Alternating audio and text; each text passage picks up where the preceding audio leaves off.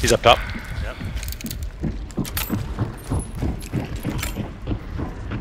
He's going to his friend over here.